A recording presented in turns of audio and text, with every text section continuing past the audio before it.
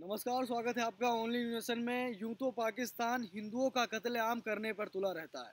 यूँ तो पाकिस्तान के जिहादी हमेशा भारत को बर्बाद करने की कोशिश करते हैं, क्योंकि भारत में हिंदू हैं, और हिंदुओं को देखकर पाकिस्तान के कठमुल्ले और भारत में बैठे कुछ कठमुल्ले काफ़ी ज़्यादा जलते भी हैं।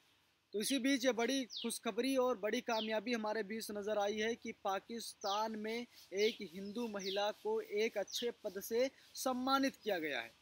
इसके पीछे वजह क्या है? और आखिरकार ये खबर इतनी वायरल क्यों हो रही है? जो आपकी स्क्रीन पे ये महिला दिख रही है, ये वही महिला है जिन्होंने एक अच्छा पद हासिल किया है।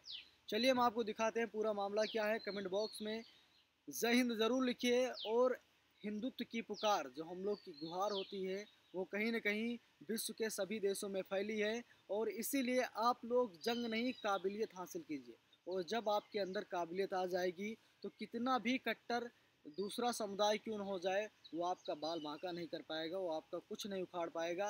लेकिन आप लोग को शिक्षित होना बेहद ज़रूरी है। आप लोग एकजुटता का परिचय दें और देश का साथ दें, देश के संविधान का साथ दें। यही आपके धर्म की रक्षा करेगा और यही आपको आगे ले जाएगा। चलिए आपको दिखाते हैं पूरा मामला क्या है और आखिरकार ये खबर इतनी ज़्यादा वायरल क्यों हो रही है। बता दूँ, कामयाबी। पाकिस्तान में असिस्टेंट कमिश्नर बनी पहली हिंदू लड़की। नाम में राम किया काबिल तारीफ़ का काम। बता दूँ, सेंट्रल सुपीरियर सर्विस परीक्षा में सफलता प्राप्त करने के बाद सना का नाम पाकिस्तान प्रशासनिक सेवा के लिए सुझाया गया है। प्रक्रिया के अनुसार शुरुआत में सना को असिस्टेंट कमिश्नर के रूप में नियुक्त किया जा रहा है। अब आप लोग सना नाम सुनकर शायद ये सोच रहे होंगे कि सना नाम मुस्लिम लड़कियों लड़कियों का होता है। ऐसा नहीं है साहब। कुछ नाम ऐसे होते हैं जो हिंदू और मुसलमान दोनों रख सकते हैं। और आखिरकार पाकिस्तान में तो बहुत बड़ी चीज़ नहीं है। वहाँ पर अक्सर पहनावा जो है, वो हिंदू लड़कियाँ भी वही पहनती हैं, जो मुस्लिम लड़कियाँ पहनती हैं। क्योंकि उनकी बाहुलता के कारण कहीं ना कहीं उनका स्वभाव ही ऐसा हो जाता है कि उन्हें कुछ नाम ऐसे मिलते जुलते रखने पड़ते हैं। बता दूँ, अपने माता पिता के खिलाफ जाकर दिन रात परीक्षा की तैयारी करती रहीं। पढ़ाई में कोई रुकावट ना आए, इसीलिए सारे सामाजिक संबंधों को ख़त्म कर दिया। नौकरी नहीं छोड़ सकती थी, इसीलिए 12 घंटे अस्पताल में काम करने के बाद लाइब्रेरी में अपनी पढ़ाई पूरी करती थी। संघर्षों में भरी ये कहानी पाकिस्तान के डॉक्टर सना रामचंद की है। वो पहली ऐसी हिंदू लड़की हैं जो पाकिस्तान की सबसे बड़ी प्रशासनिक परीक्षा पास कर अफसर बनने जा रही हैं। बन सकती हैं असिस्टेंट कमिश्नर। बता दूँ आपको, सेंट्रल सुपीरियर सर्विस। यानी कि सी एस एस परीक्षा में सफलता प्राप्त करने के बाद सना का नाम पाकिस्तान प्रशासनिक सेवा के लिए सुझाया गया है। प्रक्रिया के अनुसार शुरुआत में सना को असिस्टेंट कमिश्नर के रूप में नियुक्त किया जा सकता है। बता दूँ आपको तिरपन अभ्यर्थियों में से चयनित पहली हिंदू लड़की, सेंट्रल सुपीरियर सर्विस की लिखित परीक्षा 2020 में कुल अट्ठारह अभ्यर्थियों शामिल हुए थे। लिखित परीक्षा और साक्षात्कार के आधार पर केवल 221 अभ्यर्थियों का ही चयन किया गया था।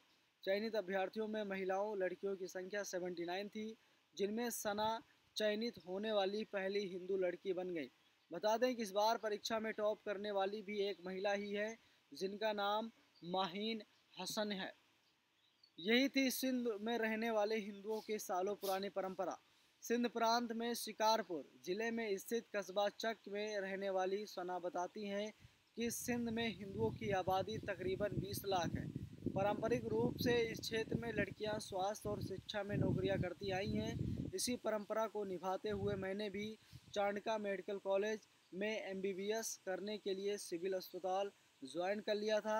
साथ ही Sindh institute of urology and transplant में यूरोलॉजी में एस पी टी एस और कर रही थी। बता दें, काफ़ी बड़ी खबर मानी जा रही है क्योंकि लोग इस सना को लेकर काफ़ी ज़्यादा खुश हैं। भारत में भी कहीं ना कहीं लड्डू बांटते नज़र आए हैं लोग। बता दूँ आपको, सरकारी अस्पतालों में मरीजों की परिस्थितियों को देखकर रोना आने लगा।